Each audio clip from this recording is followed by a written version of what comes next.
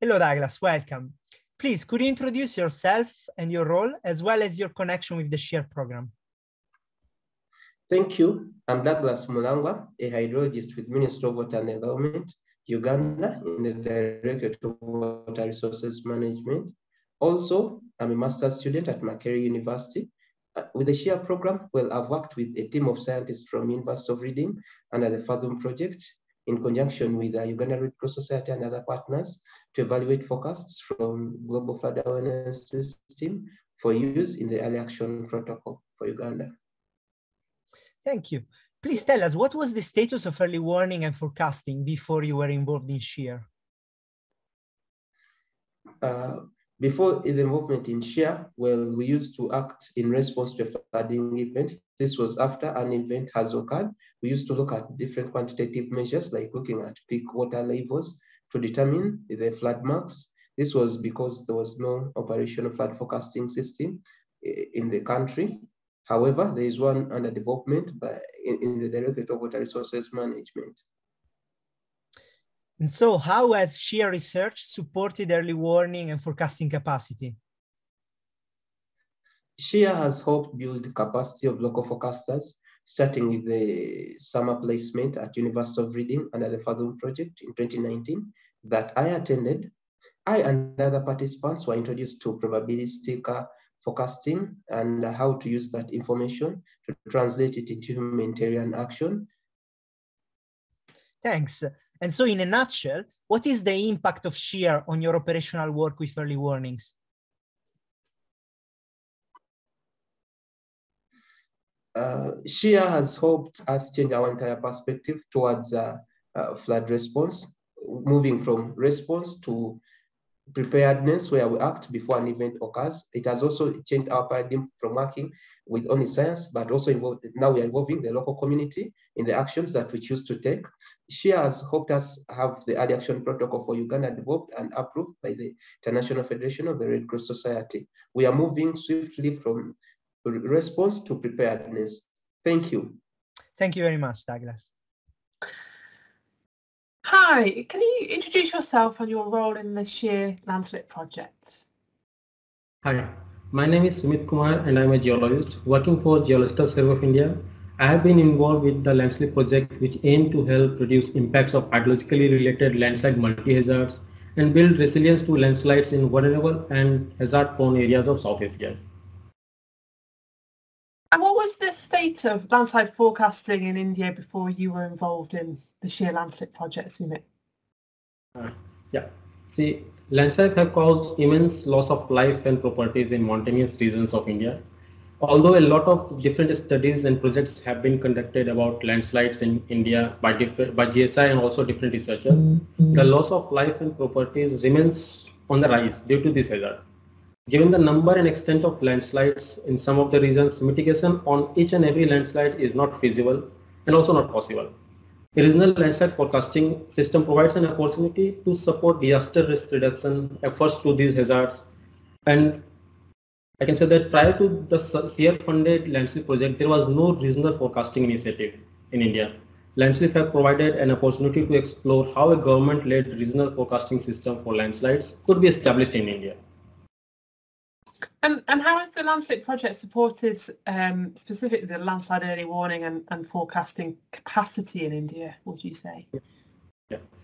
The Landslip project have developed a prototype landslides forecasting system for the two pilot areas in India for the two districts. It has created it has created a knowledge product which will support on an ongoing vision of GSI to develop a national landslide forecasting center which will be established in Kolkata and led by the Geological Survey of India and different relationships have been established with the by, with different NGOs, the state government organization like State Disaster Management Authority, District, District Disaster Management Authorities, and the national agency like Indian Meteorological Department and IMD and NCMRW to specifically consider landslides early warning in India.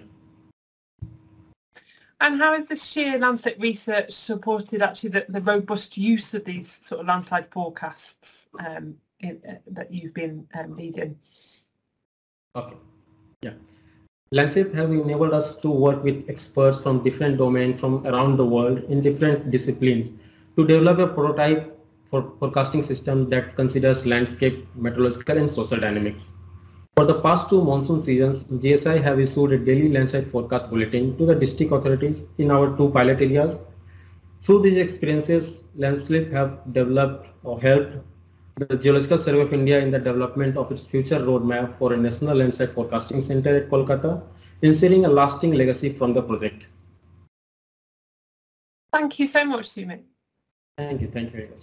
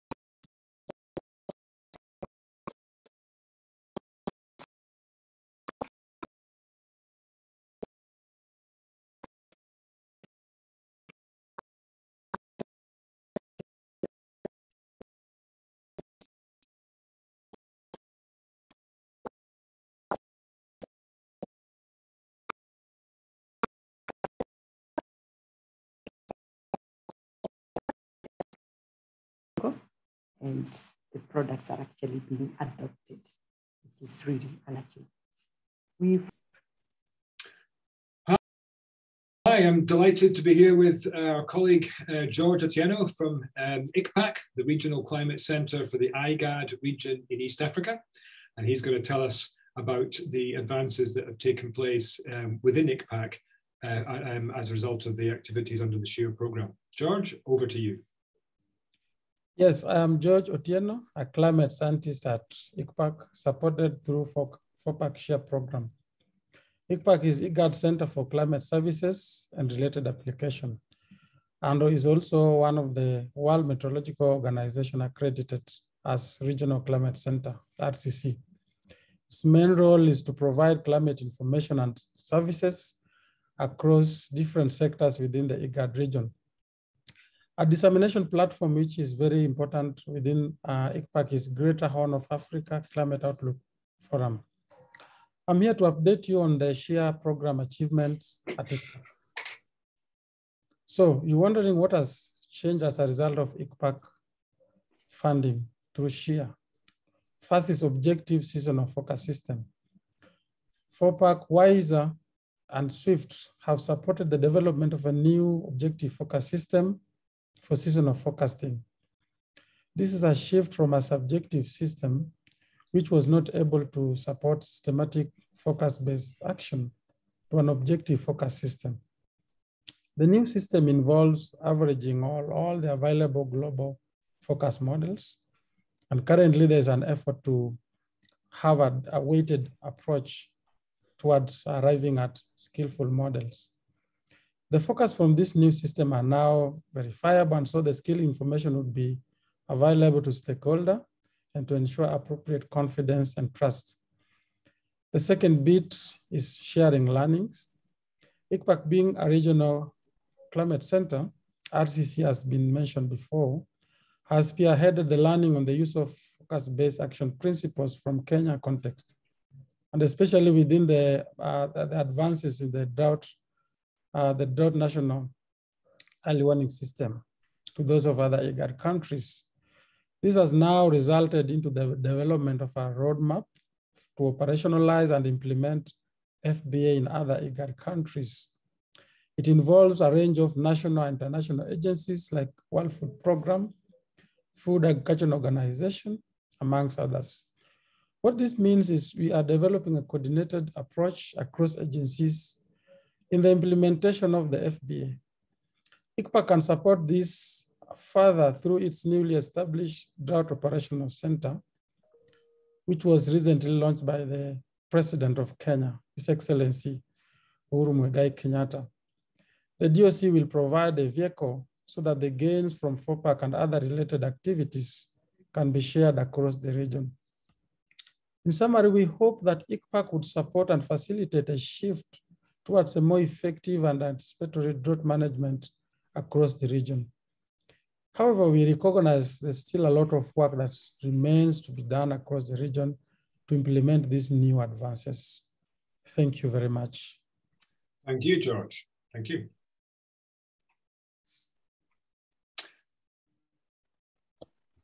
Hello, my name is Pedram Rouhani, and I'm a researcher at the University of Sussex and a co-I on the SHEAR funded project called FOPAC. And I'm joined today by two of my colleagues in Nairobi, who I've been working with over the past few years. Uh, Lillian. Hello, everyone. My name is Lillian Ndungu, the thematic lead for agriculture and food security at the Regional Center for Mapping of Resources for Development at CMLD. Thank you, Lillian. Uh, and Shamton Waruru.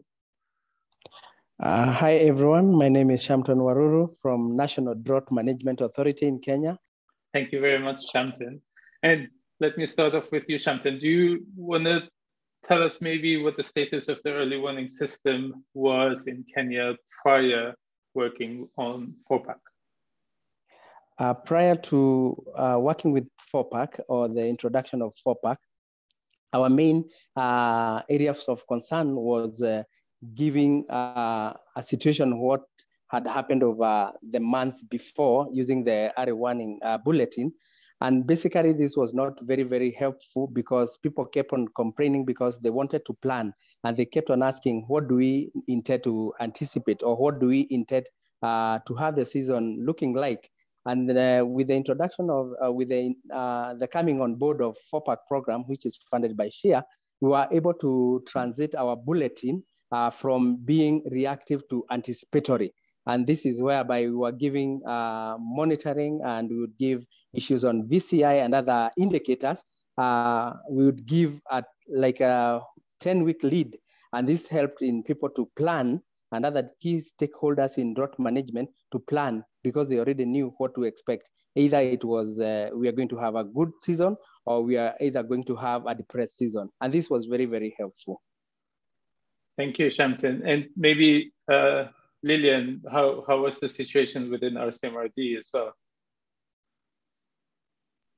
Thank you. So RCMRD was already uh, working with the drought management stakeholders such as NDMA and the county government and the uh, conservation uh, organizations within the country.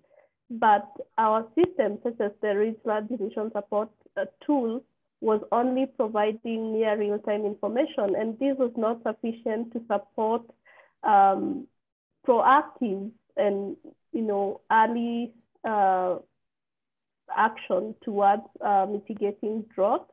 And so the collaboration with uh, SHEAR so FOPAC came at a very opportune time, uh, providing us with an opportunity to strengthen our technical capacities for developing forecast-based systems and also allowing us to have a co-development process for integrating the pipelines for forecasting within the within the institution.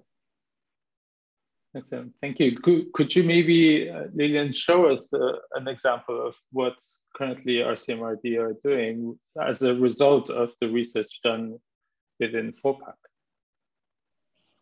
So through the support of FOPAC, we have incorporated the mechanism for uh, producing, internally producing the six-week vegetation condition index forecast and uh, integrating that workflow within our system so that data ingestion and processing and production of the forecast and dissemination of these forecasts is done automatically and in a timely manner uh, ensuring that every month uh, the newly generated uh, data is shared to the stakeholders automatically. Brilliant, thank you, Lillian. And then, uh, Shamton, would you mind then telling us how, how these forecasts are uh, useful to the NDMA in terms of making decisions uh, on um, food, food security and drought. Okay, thank you very much. Uh, FOPAC has been working towards improving forecasts on flooding and uh, drought in Kenya, and more so I can address the issue of drought, whereby um, uh, decision makers have been able, through FOPAC, as a result of capacity building, they have been able to take early action to reduce the impact of hazard events. And uh, I would want to give one example where NDMA, we are, we, are, we are producing the early warning bulletins, which are very, very useful to inform uh, decision makers, including the county and the national government on what to expect in the season. And uh, the early warning bulletin, which are very, very uh, uh, critical, are developed every month by NDMA. And if you look at uh, our bulletin, which we piloted using the, the, the FOPAC project, we did seven counties, which uh, gave anticipatory uh, uh, information, which was very, very necessary uh, for key decision makers. This enabled us as key decision makers in matters drought to, uh, to be in a position to disseminate the same to, to the stakeholders. Thanks, Shamton. Um, and thank you, Lillian, also for sharing your experiences of working together with us here on this SHEAR funded project. Thank you very much. Hello, uh, my name is Steve Cole from the UK Centre for Ecology and Hydrology, and I lead the NFLICS project.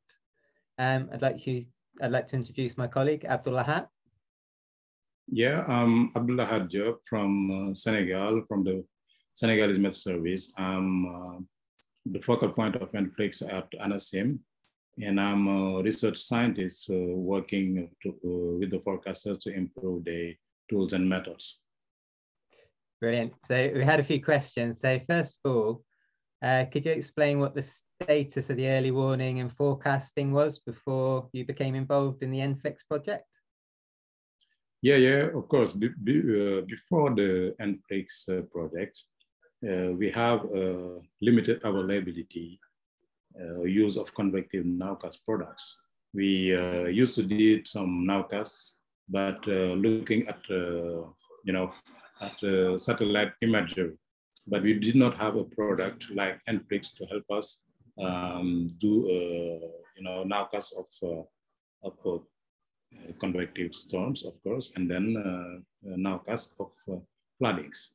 So no, no specific flood risk products did not exist before NFLICS, but uh, yeah, with NFLICS we developed, yeah, with the development of the tool, we, uh, we, had new tools, new tool uh, that combine uh, of nowcasting of uh, storm, convective storm, and then uh, of uh, floodings using some other tools.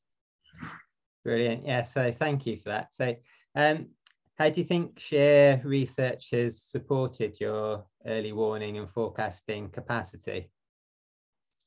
Yeah, with the new new products available with uh, new data feeds to ANACIM, and because uh, the CEH feed data to ANACIM, to and we installed this, uh, this system in our local machines and use the GUI, the NFLICS GUI, to see the products. And also there are there are uh, we can find the, the products on uh, online portals like uh, what we did in the in the test bed, and also the co-development of tools uh, between ANACIM and CEH and then training because there was uh, two session of training at the beginning of the of the project, and then uh, during the project there were two training sessions with uh, the use with the users. The users are the forecasters, and this was very very useful, helpful to the to the user, the forecasters to understand more the product uh, or the tool. And the product have been trailed during the during nowcasting test bed, as I said earlier, because we organized the test bed uh, in 2021, 21, and uh, with really positive feedback from the forecasters and users of uh, forecast and warning information. That's, that, thank you very much, Abdoulahat, for sharing your experience. We really, really, really appreciate it. So thank you.